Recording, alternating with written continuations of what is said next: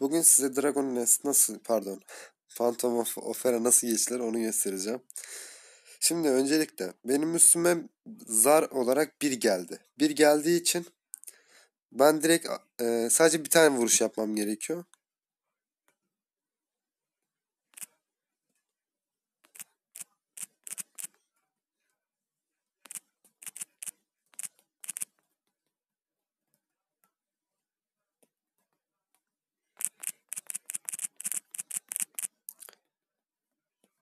Ona iki geldiği için iki defa atış yapması gerekiyor ama e, bunda bir özellik var yani Hel'in bir özelliği var. Bir tane üstten vuruyor. O bu atış yaptığı için ölecek. Direkt tek yiyor. Yani ikiden daha fazla yaptığı için ölecek.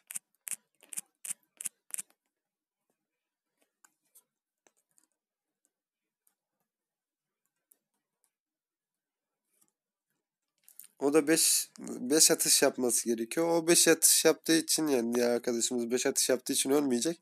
Ama alttaki fazladan atış yaptığı için ölecek.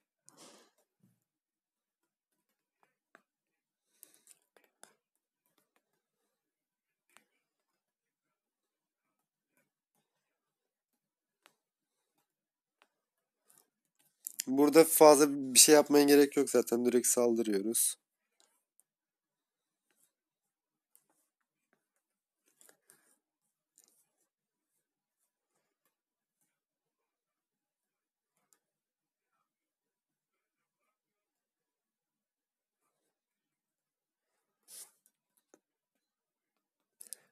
Benim üzerime şu an gene şey geldiği için, bir geldiği için direkt saldırı yapıyorum. Arkadaşın üzerine 3 geldi.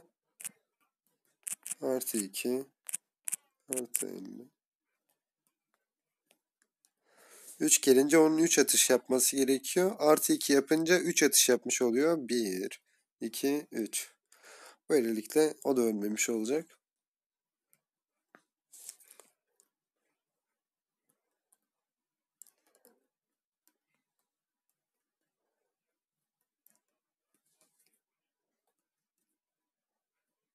Lambalar geldiğinde lambaları direkt yok etmek gerekiyor.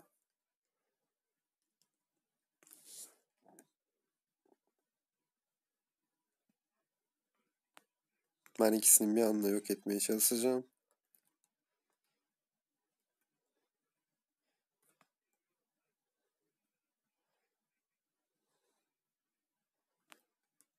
Yok ettim.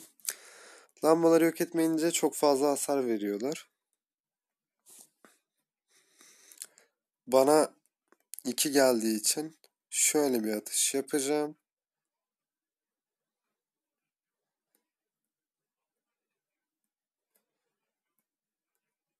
Double shot atmam gerekiyor.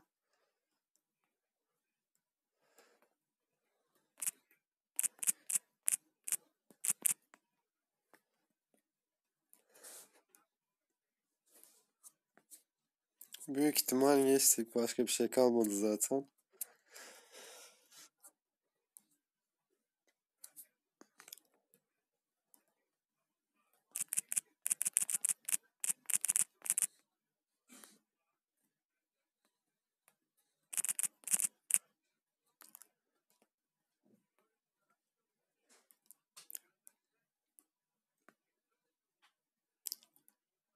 Ve operada bu kadardı. Ee, şu an sadece iki kişi geçtik zaten diğerinin fazla bir etkisi olmadı. Ama onun da hakkını yememek lazım. Grupta olması yeterli oldu. Opera bu kadar. Operanın tek taktiği bu.